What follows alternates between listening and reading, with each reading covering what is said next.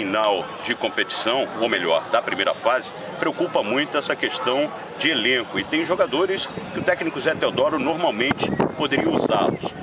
Temos cinco jogadores do departamento médico. Vamos começar pelo Bruno Leite, que eu acredito que esse esteja fora da competição.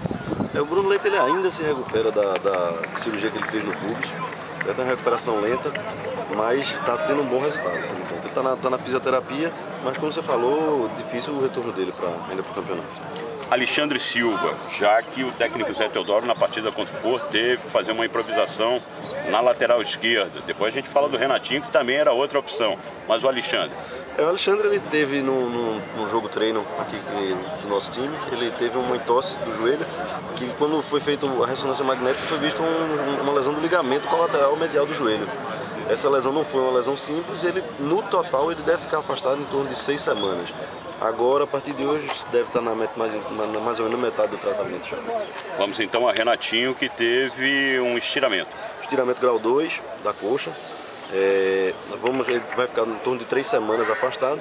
Já está há 12 dias, então para completar 21 a gente fala, fala 9, 10 dias para ele voltar para a transição tem mais um jogador que esse parece que já está saindo do DM, que é o Kleber Goiano. É, Kleber já, já teve, teve o estiramento da panturrilha, mas ele já tá, deve fazer um exame de imagem no final dessa semana para a gente ver como é que está o andamento da lesão dele e poder liberar já para a transição. É o mais próximo então de voltar para o time? É o mais próximo, mas a gente tem também o arroz, né? Também está lá. O arroz ele teve um estiramento, um estiramento mais leve, mas por ser reincidente, então também resolvemos tirar por mais um tempo. Ele deve ficar mais em torno de 10 dias também para poder ser liberado.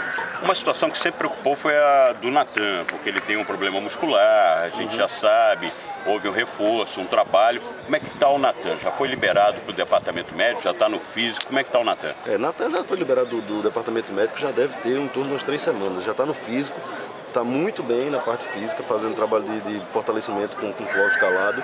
É, e o, o, o, retorno de Natan fica pela, por conta deles agora, não está mais para o departamento médico não.